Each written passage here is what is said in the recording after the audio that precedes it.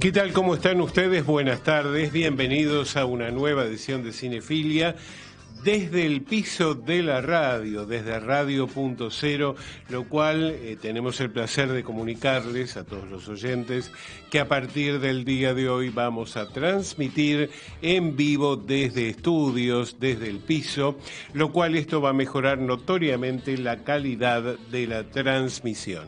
Hola Diego, ¿cómo estás? Un gusto saludarte en vivo ahora en esta oportunidad. Un placer, realmente un placer. Y así es. Bueno, la verdad que vamos a, trabajar en conjunto dos horas fecundas a lo largo del día de hoy y de los sábados que vendrán. Y esta es la oportunidad para anunciarles a los oyentes que como siempre tenemos para compartir con ustedes premios. En esta oportunidad hay un DVD eh, de un documental de la selección eh, documentales del Inca por gentileza de Nadia Yaqui. El documental se llama Aire de Chacarera y es del director Nicolás Tacconi. Y además anticipamos uno de los premios de la semana que viene de la colección The End, Antología de Cine de Maximiliano Curcio. En esta oportunidad tenemos el libro Alfred Hitchcock, el, eh, el precio de la sugestión. Así que este, vamos a anticiparles, son siete libros los que componen esta antología editada por Vuelta a Casa y por supuesto podrán acceder a este premio, a estos dos premios, uno que sortearemos hoy y uno la semana que viene, contestando la consigna del día que es la siguiente. Queremos saber cómo se llamó la película que cuenta eh, entre su elenco a la protagonista Jasmine Stewart, que encarna a una exmujer quede separada, obviamente, de su marido y que debe irse a vivir con sus hijos al Paraguay. ¿La recuerdan? Una película del año pasado, muy elogiada, por cierto, y que participó en varios festivales. La respuesta, por cierto, y como siempre, a nuestro correo en principio a radiocinefilia.com o en las redes radio-cinefilia en Twitter, Cinefilia Radio en Facebook o arroba radiocinefilia en Instagram.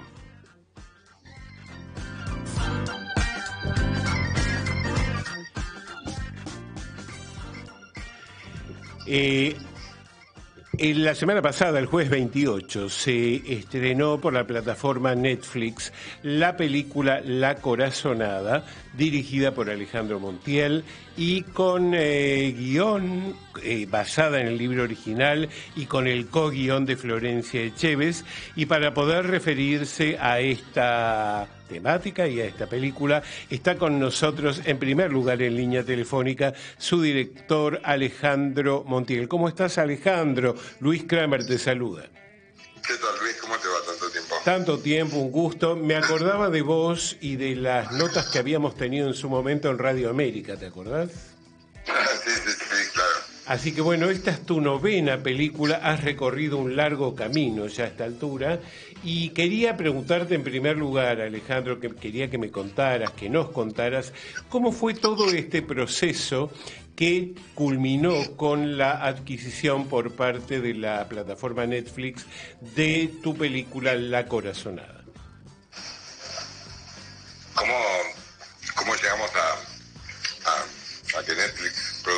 Exacto, o sea, la pregunta sería si cuando vos la, la comenzaste o comenzaste a idearla o a preproducirla, ya estaba Netflix en el proyecto, esto o si esto sobrevino con, con posterioridad o cómo fue, digamos, el proceso?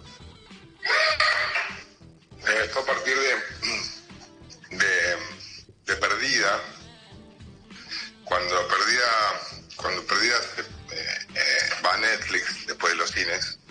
Sí.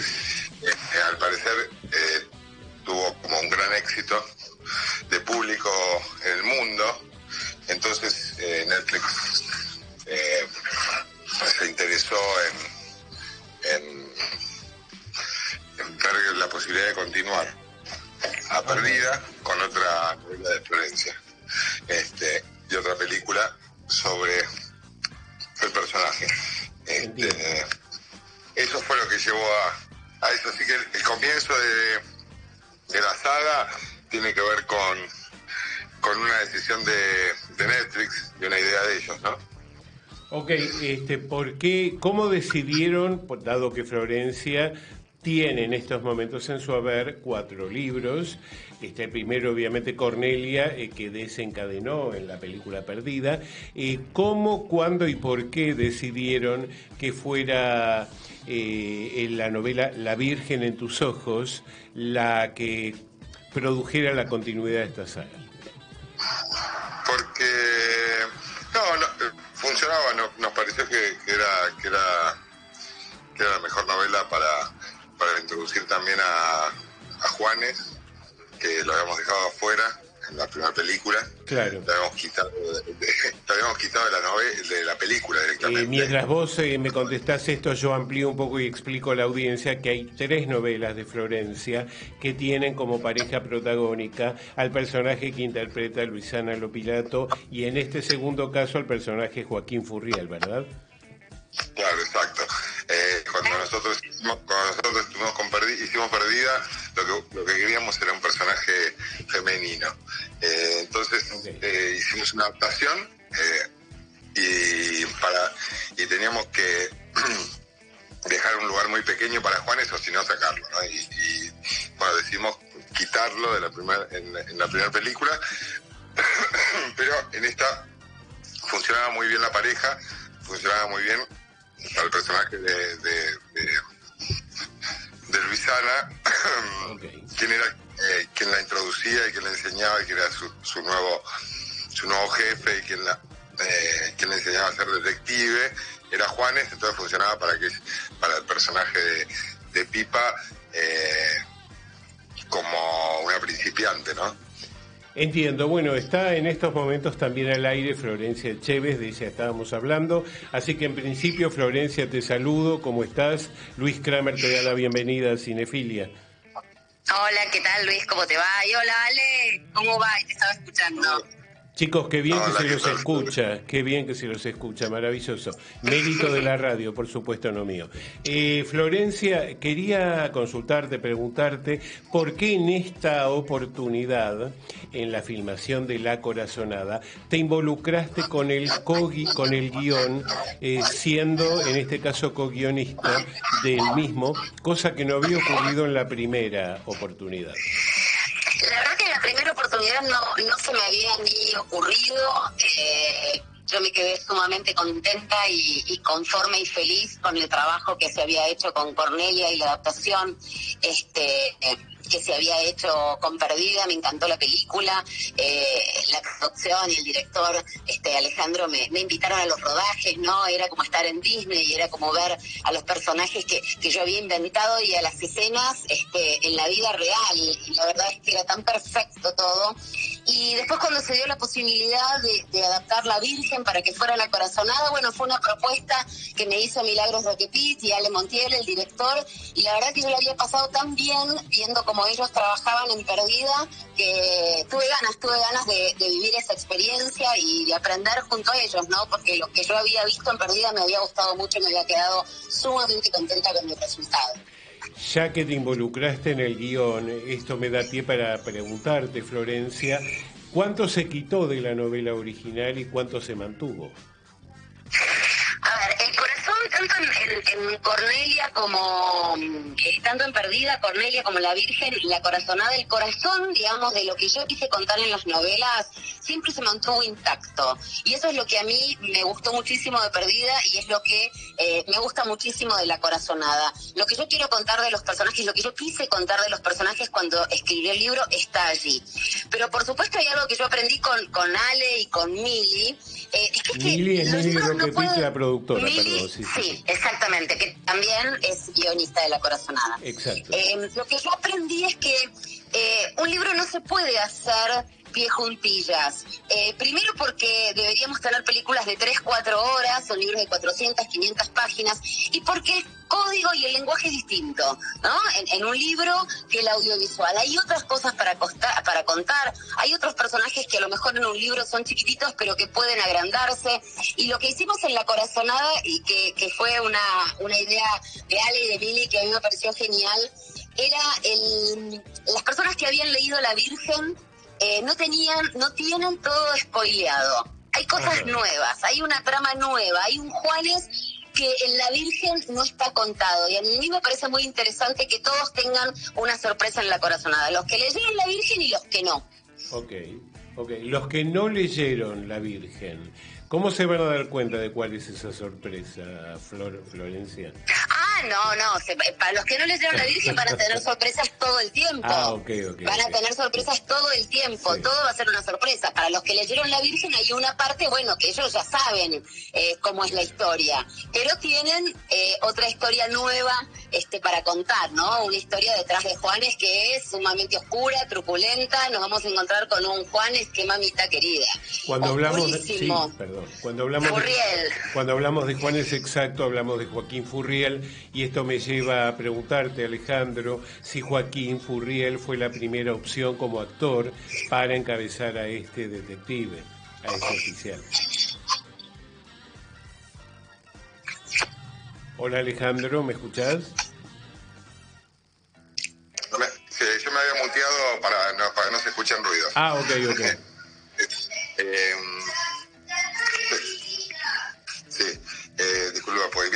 en casa, tengo a Está todo bien, está todo bien. En cuarentena todo está permitido y estamos todos adaptados. No me puede gritar mi hijo. Está todo bien. Todos estamos, todos estamos perdonados. Sí, sí, sí. Este, eh, sí, Joaquín Purriel, al margen de, de, de, ser la, además de ser la primera opción, bueno, vos ya sabés que, que que ya nos conocíamos. Claro, vos venís de una, colaboración muy estrecha con él en tu película anterior, El Paraíso. Exacto, y después también produjimos películas con él, con Milagros, este, Las Gritas de Jara, por ejemplo, y, y bueno, y, fuimos muy amigos, y Netflix también quería que sea Joaquín. Mm. Así que, en ese sentido, siempre, siempre estuvo él. Ok, ¿cómo sentís, cómo te sentís frente al hecho de que La Corazonada sea la primera película argentina que Netflix opciona para incluirla en su grilla de estrenos y de películas luego y en su menú de opciones? Yo me siento pésimo. Me imagino, me imagino. ¿Vos cómo te sentís, Flor? Tristísima. No, no, bien, imagínate que, cómo me voy a sentir. Eh, más que todo, aparte que, que, a, que a Perdida ha llegado también, ya le fue bien en los cines y después que la ha llegado también en Netflix, en todo el mundo y ser y que y tener un público que es eh, que es, un, que es mundial, digamos, y llegarle a todo el mundo. En, el mismo día se estrena en, en todo el mundo. Claro. 194, 194 países, es una locura. Me a faltar 4, 194 países. ¿Hay algún tipo de estadística que determine que ustedes tengan en cuanto a la proporción de público que está pudiendo ver esta película en todo el mundo? Eh, a, fines de... Y lo que pasa es que esa, estadística hasta que termine, no sé, imagínate, no sé cuánto tiempo va a estar en Netflix, no sé cuánto será 150 mil millones de millones de, no sé, ni de... Sí, lo que tiene, que yo estaba viendo, hay mucho contenido que tiene Netflix que son contenidos locales. Por ejemplo, eh, algo que se hace en México que está para Netflix México. Nosotros desde acá de Argentina no lo podemos ver. Si uno viaja a México, se sube a Netflix y podés ver contenidos de otro país. La Corazonada no es un contenido que solo está en Argentina. Es un contenido al que tienen acceso todos los suscriptores en el mundo de Netflix. Entonces, digamos, está puesta a disposición de todos. ¿Cuántos de todos esos la han visto? La verdad, no sé, y de imaginarlo se me aflojan las rodillas. Reformulando la pregunta anterior, eh, quisiera saber si ustedes saben cuáles fueron los condicionantes o los elementos que pudieron determinar que la plataforma adquiriera los derechos de esta película. Eso ya no sé tanto como eso, no lo sé, pero calculo que una de, los, una de, los, de, las, de las cuestiones por las cuales eh, Netflix quería continuar esto era eh, lograr eh, un, cine argentino que traspase las fronteras, ¿no? Que se entienda en todo el mundo y que represente también este, el espíritu del cine argentino, pero, pero que haga como llegar a, a, cualquier otro tipo de cultura de otro país y que se entienda este, esa película en China, en Kamchatka, ¿no? en Arabia, en Estados Unidos, en Brasil, eh, que no tenga fronteras, ¿no? que traspase las fronteras idiomáticas y demás, ¿no? un cine más universal que un cine local, ¿no? No, no, no funciona, no funciona, me parece, esa idea tan localista, por lo menos en este, en este, en esta ocasión. No sé si no funciona, digo, por ahí sí. Eh, eh, buena... En este caso, sí. del cine local no funcionaba, ¿no? Sí, además yo creo, creo por otro lado que, que, digamos, Netflix tenía en plataforma ya perdida, por lo que ellos pudieron ver cómo es el contenido que se hace en Argentina, que los parámetros de calidad eh, de la película perdida son los parámetros de calidad de cualquier película del mundo eh, y que la corazonada fue hecha por el mismo equipo. Entonces, bueno, ellos ya a priori sabían cómo ese equipo de producción, cómo esas cabezas laburaban, cómo ese director miraba. Eh, tenían como una muestra. Bueno, y evidentemente, este, por suerte, funcionó. Me parece interesante revisar algunos conceptos, dado que Alejandro estaba hablando de cultura, de, este, de alguna forma, universalización de contenidos, y esto me lleva a preguntarles a ambos, eh, ¿podemos decir que La Corazonada encarna un policial argentino? ¿Ustedes consideran que sí, que no? ¿Qué opinan?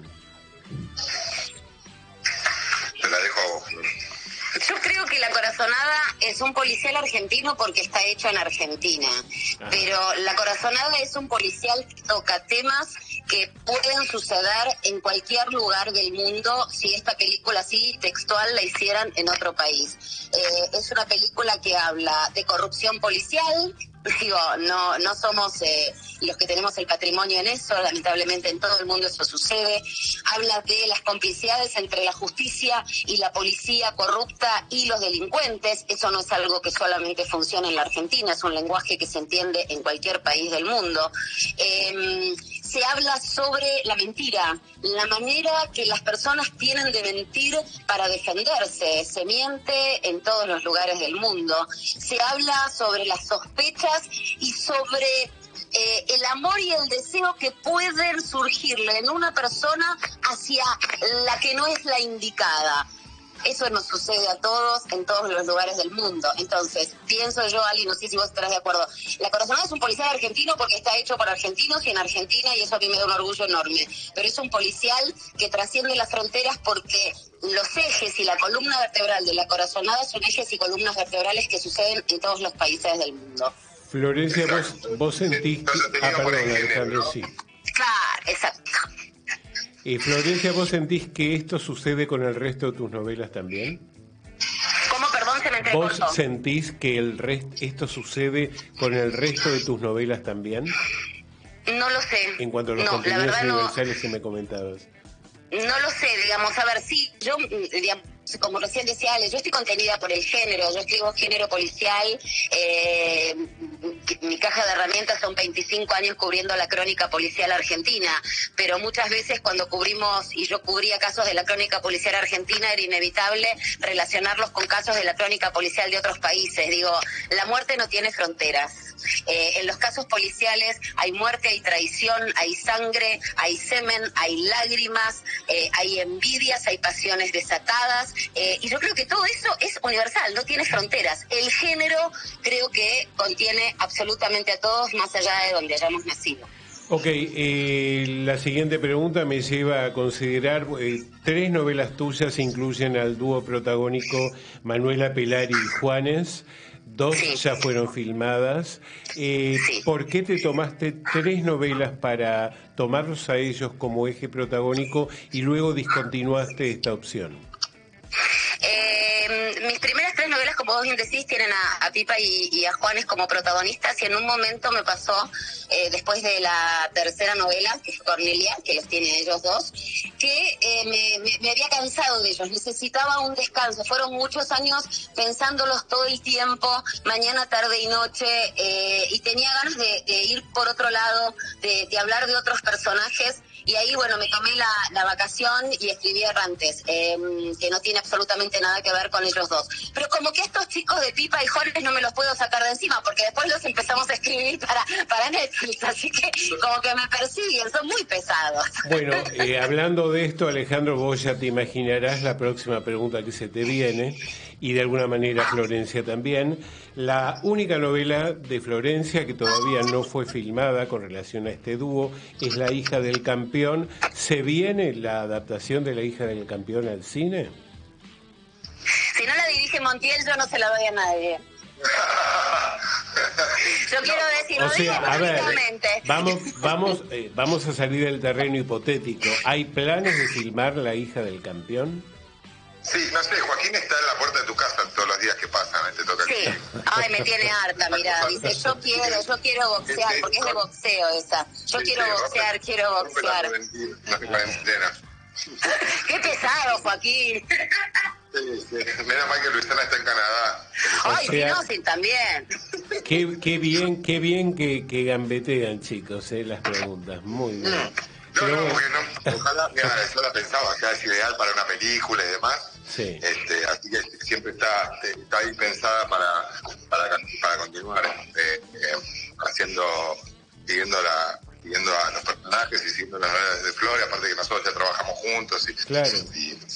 Ah, pero aparte además hay otro tema que, que es divertido, mm, por lo menos me parece a mí, es que, que estos personajes, digamos, son nuestros. Eh, Podemos hacer lo que querramos, no es necesario tener un libro de soporte. Si tenemos ganas de inventarles otra historia, lo podemos hacer también. Entonces, cuando los personajes son nuestros, es como más fácil, no tenés que pedirle permiso a nadie. ¿Puedo entrevistarte, Luis?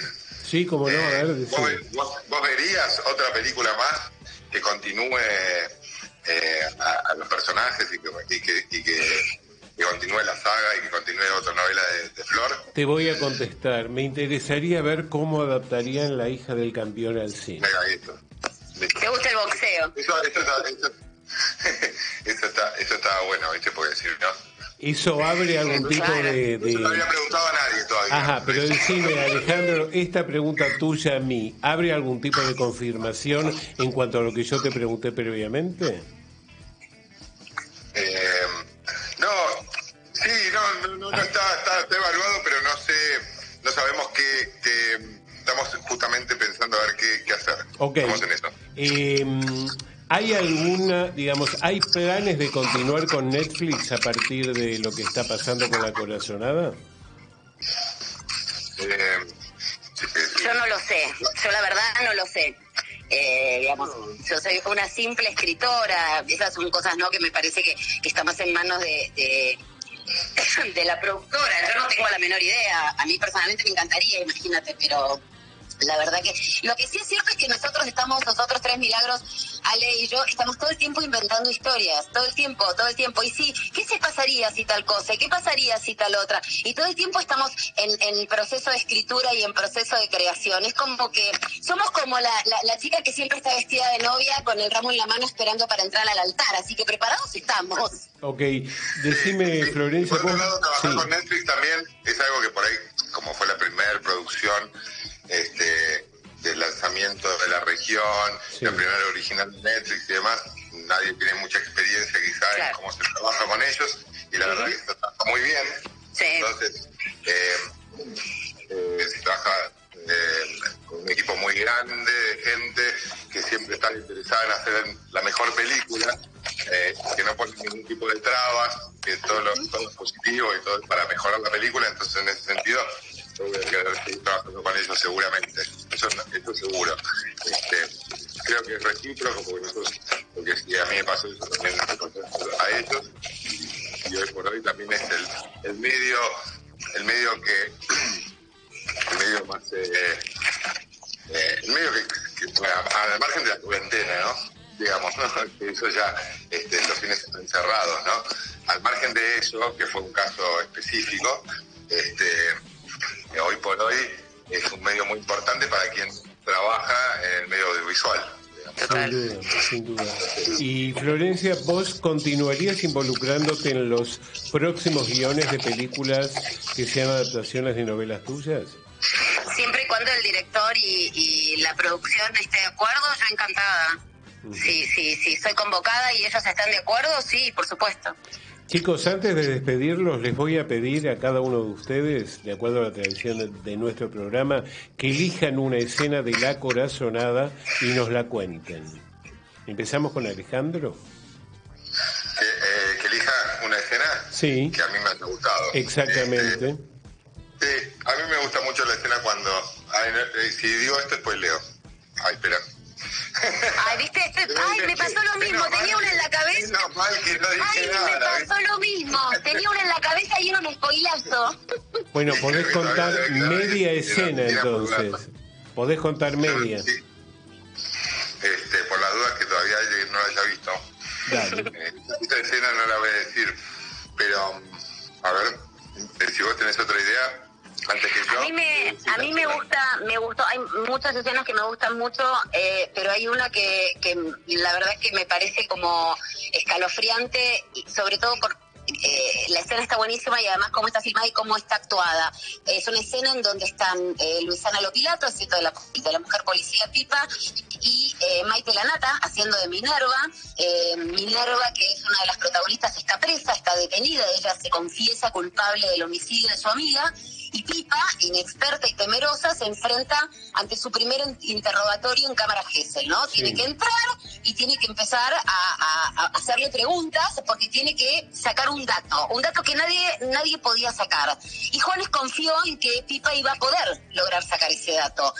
Y entonces ella entra, entra y se, le cae el agua y se le cae la carpeta porque está nerviosa, porque es inexperta y porque enfrente tiene a una chica de hielo, eh, una Maite Lanata, una Minerva que te voy a dire y se genera entre ellas un pica pica muy duro que termina con, no voy a decir nada, pero termina con un dejo de ternura entre esas dos actrices o entre esas dos mujeres que ellas componen, que a mí me encanta esa escena porque pasa como por todos los estados de ánimo y uno puede acompañar a Pipa en sus nervios y, a Minerva en su manipulación. Es una escena que a mí me gusta mucho.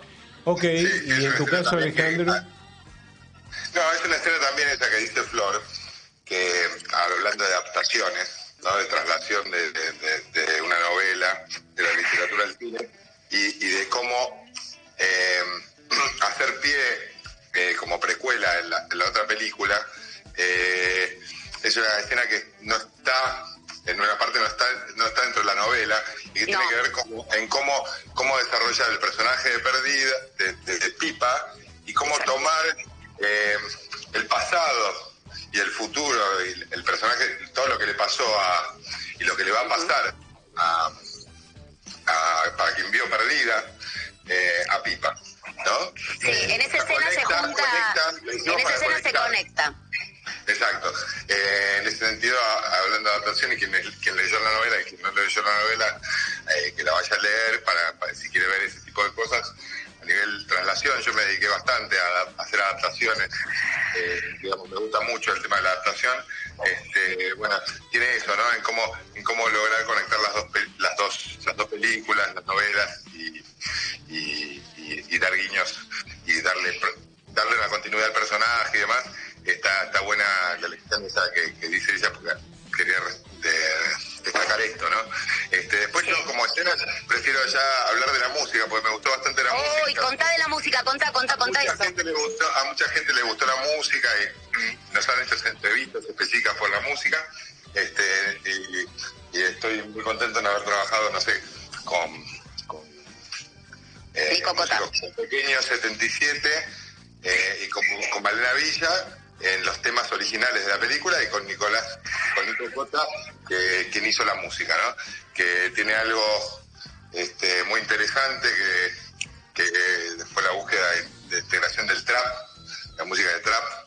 Este, en esto tiene que ver eh, un género también que es universal, pero que también es muy importante en Argentina y que Argentina se destaca como, digo, en el mundo como, eh, como, como creadores de música trap es una es una mezcla de rap con música latina, ¿no? Vendría a ser eso Y con, con el tango, eh, una mezcla con el tango, etcétera, etcétera, que, está, muy buena, que fue también una idea, eh, una idea que funcionaba, que me gustaba mucho a mí, que funcionaba también bastante para, para un policial y que también me parecía que estaba bueno para, para que esto nos represente eh, en una original de Netflix eh, de Argentina para el mundo.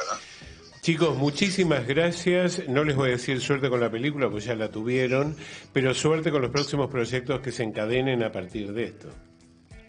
Bueno, muchísimas gracias a vos por tu tiempo y por esta entrevista. Por favor, que esté, que esté muy bien hasta cualquier momento. ¿eh? Hasta luego. Chao, Hasta luego y gracias. Chao, chao, chao. Chao. Fue la palabra de Florencia Chévez, autora original, periodista y co-guionista de La Corazonada, y Alejandro Montiel, director de dicho film. Y vamos a escuchar pegadito el primer tema musical de la tarde de hoy, que corresponde a la serie Ozark. Hoy nos vamos a ocupar con tres temas de esta serie. El primero es Still the Same, interpretado por Bob Seger and the Silver Boated Band. Acá va.